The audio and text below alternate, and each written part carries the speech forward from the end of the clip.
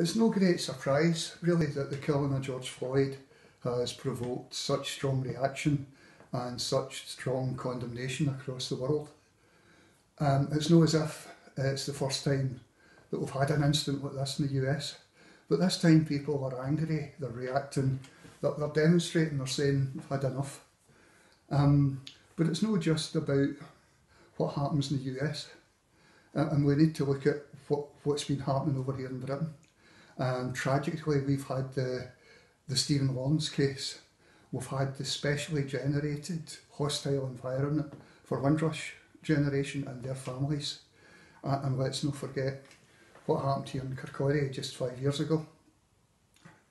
I think to use Billie Holiday's words, tragically we're still seeing, after all these years, we're still seeing some kind of strange fruit.